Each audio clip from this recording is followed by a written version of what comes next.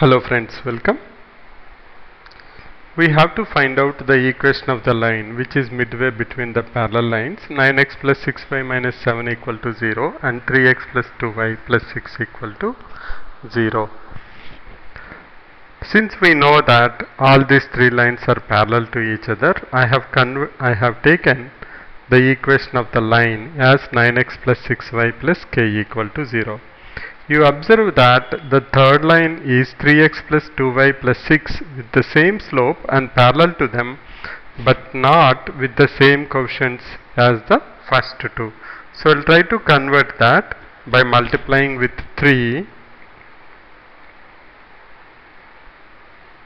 multiplying with 3 will give us 9x plus 6y plus 18 equal to 0. Why we are doing this? Because whenever you want to find out the distance between two parallel lines, you should have ax plus by plus c1, c2, c3. But a and b should be the same for all of them. Now we will do it in most simple way. There are so many ways you can solve this. What we will do is we will say that the distance between these two parallel lines should be equal to the distance between these two parallel lines. If if 9x plus 6y plus k equal to 0 is midway in the middle of 9x plus 6y minus 7 equal to 0 and 9x plus 6y plus 18 equal to 0 then d1 should be equal to d2. This condition will give me the value of k. So let's first find out what is d1. What's the formula we have? The formula is c1 minus c2 mod of that divided by square root of a square plus b square where ax, by plus c1, c2 are the two lines parallel to each other. Now first we want to find out the distance between the first and the second. So the formula will be c1 minus c2 can I say mod of minus 7 minus k divided by square root of 9 square plus 6 square equal to d2 d2 is the distance between the parallel lines. 9x plus 6y plus k equal to 0 and 9x plus 6y plus 18 equal to 0 it will become again same formula c1 minus c2 so I will have k minus 18 divided by square root of 9 square plus 6 square. We can simplify that. It will become k plus 7 divided by root 117 equal to plus or minus k minus 18 divided by square root of 117. If we simplify, we will get the value of k. Now we can equate them. We have two options. One is k plus 7 equal to k minus 18, which is meaningless because kk cancels.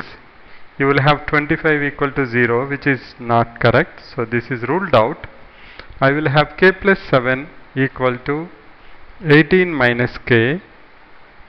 That will give me 2k equal to 11 or k equal to 11 by 2.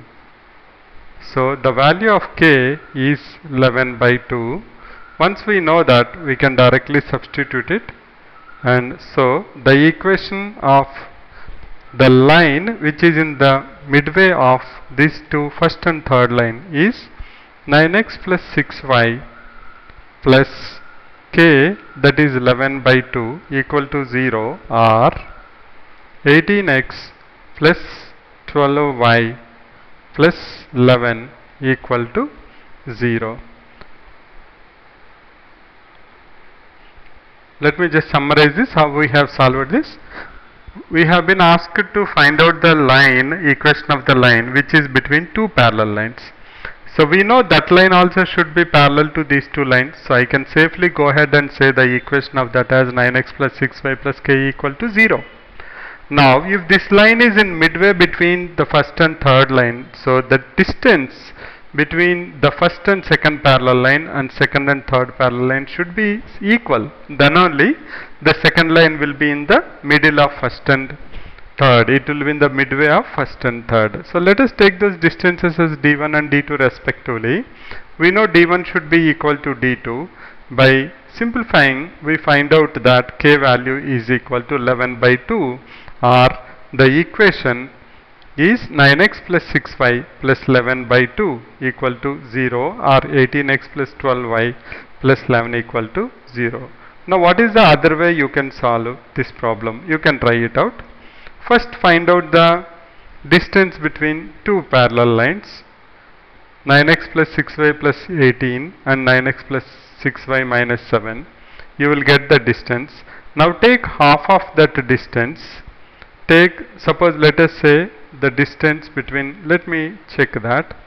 The distance between them is equal to 18 minus of minus 7 25 by 9 square plus 6 square root 117 or can I say 3 root 13 so if to total distance is 25 by 3 root 13 d1 equal to d2 equal to 25 by 6 root 13 now Take a point on any one of these lines and equate the perpendicular distance from that point to 9x plus 6y plus k equal to 0 equal to 25 by 6 root 13.